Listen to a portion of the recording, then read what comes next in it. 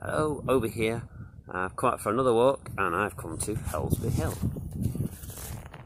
Uh, Helsby Hill is just off the M56 near Frodsham.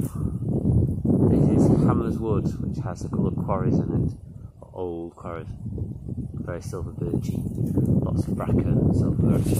Um, but Puppy's come out for a walk, it's another nice day, so I've decided I'm going to come out and have a little wander and see what I can find and hopefully post views sat hidden by the trees but looking over towards Frodsham Hill and Fox Hills. Oh, Arboretum so yeah nice walk on a nice Sunday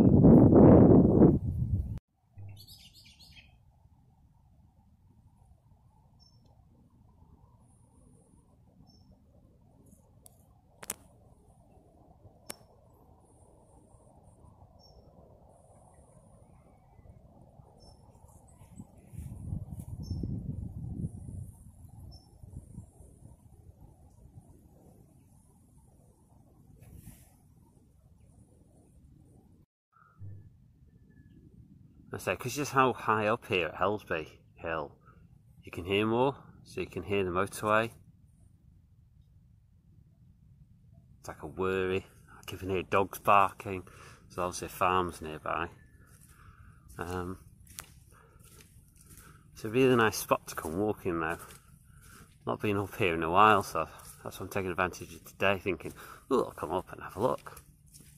So, see how I do when I get Helsby Hill itself, but just really nice. I mean, just nice and peaceful and full of trees. Yeah, I like it here. Um,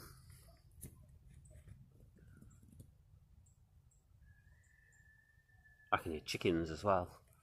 So, I'm not going to chase chickens, not that bad.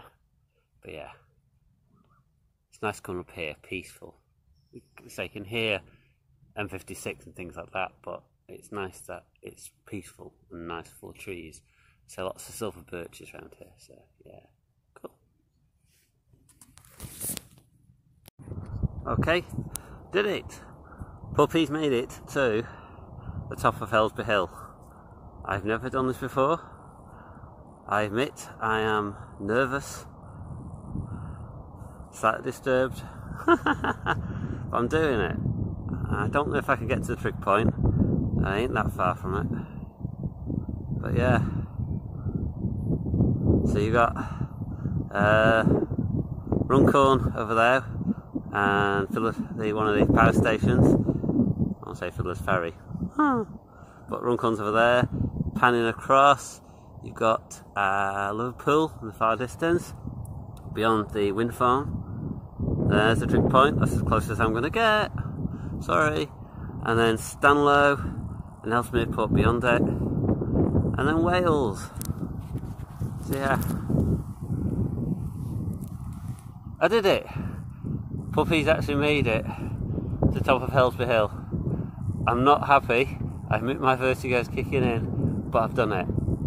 So yeah, I'm chuffed.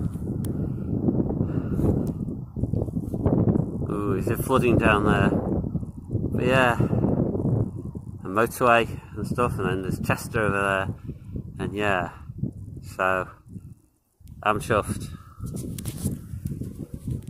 I'm chuffed. Did it. Cool.